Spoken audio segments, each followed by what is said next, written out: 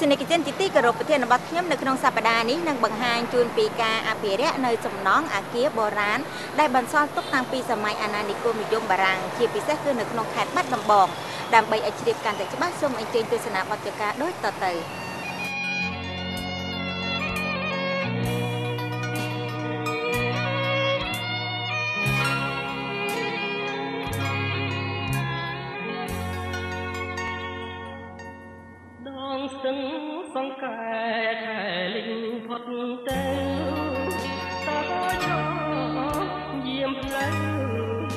នៅក្បាលឈា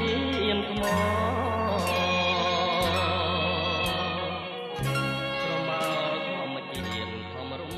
ស្ពានថ្មឆ្លងកាត់ស្ទឹងសង្កែដែលអមដោយតោថ្មឈរមួយគូ ដែលគិតមកទល់ពេលនេះមានអាយុជិតមួយទសវត្សរ៍មកហើយមិនទាន់ត្រុតត្រោមតាមសម័យកាលនោះនៅឡើយទេ ខេត្តបាត់ដំបងគឺជាខេត្តតែមួយគត់នៅក្នុងប្រទេសកម្ពុជា ដែលមានបន្សល់ទុកនៅសំណង់អគារជាច្រើនពីសម័យអាណានិគមបារាំងហើយក៏ជាខេត្តមួយដែលភ្ញៀវទេសចរបានប្រសិទ្ធនាមថាជាទីក្រុងបេតិកភណ្ឌខេត្តបាត់ដំបងយើងពីអើយមកក៏មានល្បីឈ្មោះដែរដូចជាបងអូនឃើញហើយពីដើមសូម្បីតែបាត់ចម្រៀងពីដើមក៏តែងតែតាក់ទាញធ្វើឲ្យខ្មែរយើងនឹងឬក៏ភ្ញៀវជាតិអន្តរជាតិនឹងគាត់តែងតែ មានការរំភើបមានការចាប់អារម្មណ៍ក្រៅតែមួយបត់មួយបត់នឹងធ្វើឲ្យយើងនឹកឃើញមកដល់ខេត្តបាត់ដំបងនៅកន្លែងណាក៏ដោយអញ្ចឹងកំណត់ខ្ញុំនឹងខ្ញុំចង់ធ្វើយ៉ាងម៉េចឲ្យដូចអតីតអ្នកនិពន្ធពីអើយនឹងសិនតែយើងពិនិត្យមើលទៅតាមភ្ញៀវទេសចរគាត់មកទស្សនកិច្ចនឹងគាត់ឧស្សាហ៍តែនិយាយអំពីទឹកដៃស្នាដៃដែលបន្សល់ទុកហើយម្យ៉ាងគឺរបស់នឹងវាចាស់ចាស់ពីអើយមកដែលធ្វើឲ្យគាត់នឹងមានចំណាប់អារម្មណ៍ សំណង់អគារដែលបន្សល់ពីសម័យអាណានិគមបារាំងអាជ្ញាធរខេត្តបានកំពុងអភិរក្សនៅសំណង់ទាំងនោះ លោកស្រីប៊ុនរឿនដែលក្រុមគ្រួសារលោកស្រីរស់នៅក្នុងខេត្តបាត់ដំបង3ចំនួនមកហើយ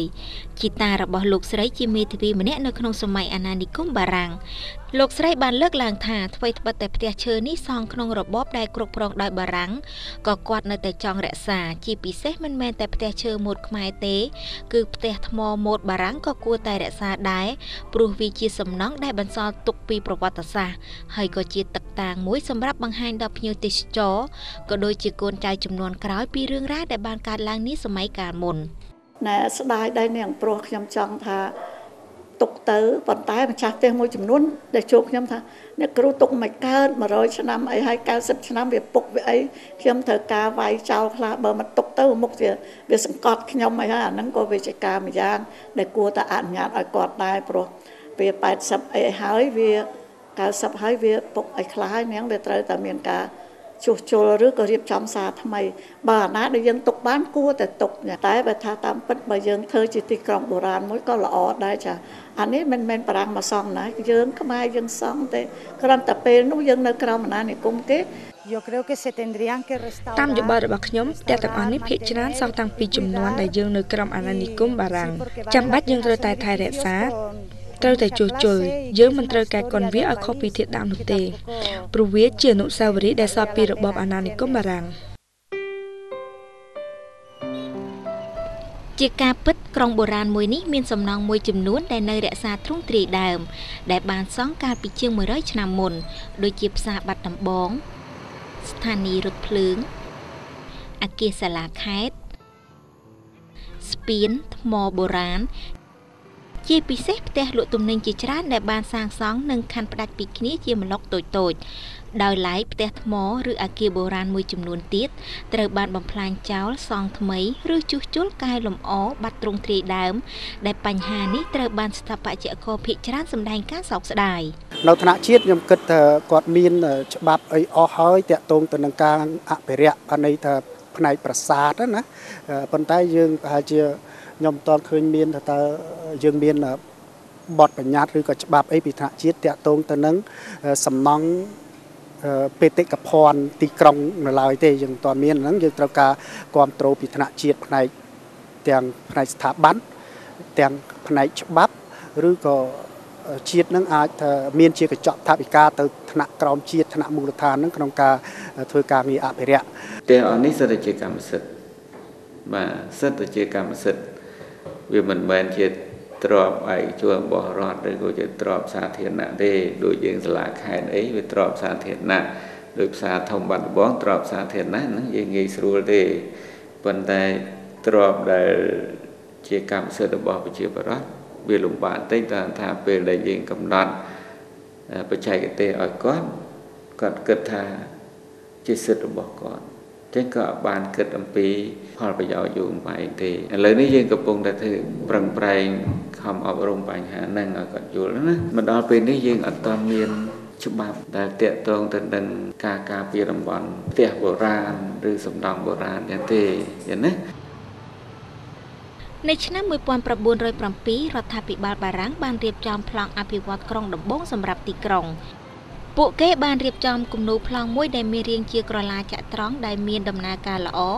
និងបានបំពាក់នៅរចនាសម្ព័ន្ធក្រុងដោយមានសាងសង់ផ្លូវលូនិងប្រឡាយព័ទ្ធជុំវិញក្រោយមកនៅឆ្នាំ1926ប្លង់អភិវឌ្ឍក្រុងលើកទី2ត្រូវបានបង្កើតឡើង។ ផ្លូវរថភ្លើងត្រូវបានកសាងឡើងដើម្បីតភ្ជាប់ខេត្តបាត់ដំបងទៅរាជធានី និងរចនាសម្ព័ន្ធក្រុងត្រូវបានពង្រីកទៅទិសខាងលិចរហូតដល់ផ្លូវរថភ្លើង ក្នុងនោះមានអក្រុងសំខាន់សំខាន់រត់តម្រង់ទៅរកស្ថានីយ៍រថភ្លើងផ្សារណាត់ត្រូវបានសង់នៅឆ្នាំ1936ហើយត្រូវបានគេចាត់ទុកជាចំណុចសម្គាល់ទីតាំងដ៏សំខាន់មួយសម្រាប់ខេត្តបាត់ដំបង ការអភិវឌ្ឍនាសម័យអាណានិគមបារាំងសំដៅទៅរកទស្សនវិស័យនៃការអភិវឌ្ឍក្រុងឲ្យក្លាយទៅជាមជ្ឈមណ្ឌលរដ្ឋបាលនិងជំនួញរដ្ឋបាលក្រុងក្រមរក្សាក្រុងអភិបាលក្រុង និងប្រជាពលរដ្ឋមួយចំនួន ដែលគាត់គិតថាអ្វីដែលគួរអភិរក្សគឺមានប្រយោជន៍ប្រយោជន៍សម្រាប់ប្រទេសជាតិយើងហើយនិងប្រជាពលរដ្ឋយើងយើងមើលឃើញតម្លៃនេះអឺមានតម្លៃមហាសាល ដែលយើងគិតថានៅក្នុងខេត្តបាត់ដំបងនេះមិនមានខេត្តណាដែលមានសំណង់ចាស់ច្រើនជាងខេត្តបាត់ដំបងទេយើងមានផ្ទះជាង800ខ្នងបាទដែលជាផ្ទះបុរាណហើយការខូចខាតការជួសជុលដោយមិនបានរក្សានៅរចនាបថដើមទាំងឡាយធ្វើឲ្យសំណង់បុរាណនឹងប្រែคลายទៅជាសំណង់សម័យហើយទៅថាវាបាត់បង់ទៅនឹងប្រហែលជា 30ទៅ40%ទោះបីជាអាជ្ញាធរខេត្តបាត់ដំបងចង់អភិរក្សសំណង់ផ្ទះបុរាណពីសម័យអាណានិគមបារាំងក៏ដោយក៏មិនមានភាពងាយស្រួលដែរផ្ទះជាច្រើននៅទីប្រជុំជនត្រូវបានជួសជុលបាត់ទ្រង់ទ្រាយដើម និងផ្ទះមួយចំនួនទៀតបានបំពាក់នៅស្លាកផ្សាយពាណិជ្ជកម្មធំធំដែលមើលទៅគ្មានរបៀបរៀបរយ អញ្ញាធរខេត្តបានត្អូញត្អែថាពួកគាត់បានព្យាយាមជូនដំណឹងជាច្រើនដងរួចមកហើយតែការអនុវត្តរបស់ប្រជាពលរដ្ឋហាក់មិនទាន់សកម្មអញ្ញាធរគេមានកម្មវិធីផនគេដូចជានៅក្រុងបាត់ដំបងនេះតាមខ្ញុំដឹងគេមានបទបញ្ញត្តិផនគេក្រុមប្រឹក្សាក្រុងគេគេបានកសាងនៅបទបញ្ញត្តិដើម្បីជាវិធានការគោលសម្រាប់ឲ្យបងប្អូនប្រជាពលរដ្ឋយើងអនុវត្តតាម ហើយក្នុងនោះដែរគឺយើងមានមន្ត្រីផ្នែកប្លង់គោលផងយើងដែលគាត់ជួយគ្រប់គ្រងរហូត តាមធម្មតាតកតងទៅនឹងសំណង់ហ្នឹងគឺយើងគាត់តែការអនុញ្ញាតសាងសង់ឬជួសជុលអីចឹងប៉ុន្តែតកតងទៅនឹងតំបន់អភិរក្សអាហ្នឹងគឺមានក្រុមគេមួយទៀតគេទៅជួយមើលតាំងពីពេលជួសជុលរហូតដល់រួចព្រោះដើម្បីគេរក្សារចនាបថខាងក្រៅ តាមពិតផ្ទះបុរាណណាក៏ស្រួលនៅដែរព្រោះអីវាត្រជាក់វាស្រួលតែព្រោះគេវាមានដងខ្យល់ដងអីចឹងនៅក្នុងហ្នឹងកាលណាយើងផ្ចិតអស់ទៅវាពិបាកមានខ្យល់ចេញចូលក៏តែគាត់ថាបើយើងមានថាឱកាសយើងអាចជួសជុលវាថែមតិចទៀតរត់តែល្អហ្នឹងគេឲ្យយើងជួសជុលតាផ្នែកខាងក្នុងឯងខាងក្រៅគេឲ្យយើងអភិរក្សនៅដដែលទាំងអស់ផ្ទះសម័យអាណានិគមនិយមបារាំងនេះវាមានរចនាបថល្អខុសពី ផ្ទះសម័យឥឡូវនេះដូចថាវាមានតាំងពីបរិយាកាសអីធ្វើឲ្យបរិយាកាសក្នុងផ្ទះហ្នឹងវាល្អនឹងតែម្ដងដែលគេរៀបចំអត់មានបិទមុខបិទក្រោយអីចឹងណាបើចំពោះផ្ទះខ្ញុំនេះដោយថាការជួសជុលនេះរៀបចំតែជួសជុលតែខាងក្នុងទេចំណែកឯខាងក្រៅនៅរចនាបថពីដើមទាំងស្រុង ខខេត្តមិនទាន់មានវិធានការតឹងតែងនៅឡើយទេបើប្រៀបធៀបទៅនឹងការអភិរក្សដោយអាជ្ញាធរអប្សរាខេត្តសៀមរាបដំបូងឡើយការអភិរក្សអគារបុរាណនេះផ្ដួចផ្ដើមកំណត់ដោយផ្ទាល់ពីក្រុមការងារមួយក្រុមរបស់សាលាក្រុងបាត់ដំបងដែលមានការសហការស្រាវជ្រាវប្លង់គោលជាមួយនឹងអង្គការ GIZ ដែលធ្វើការលើការអភិវឌ្ឍក្រុងបាត់ដំបង។